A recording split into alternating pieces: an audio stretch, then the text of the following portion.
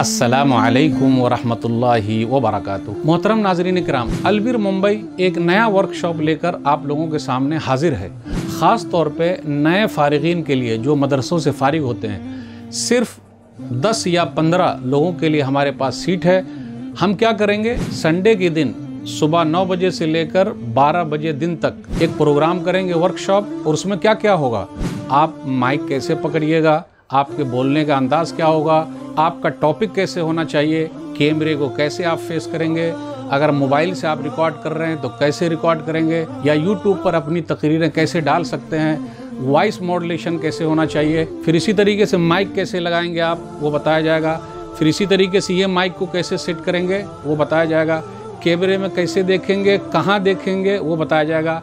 आपकी आँख कैसी नज़र आनी चाहिए, कैसे आपका हाथ पैर सब चलना चाहिए।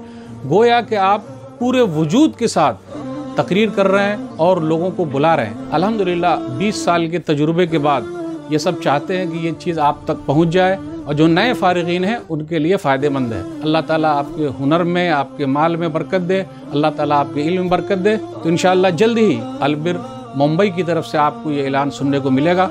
फिर मिलेंगे। वालकम वरहमल वर्का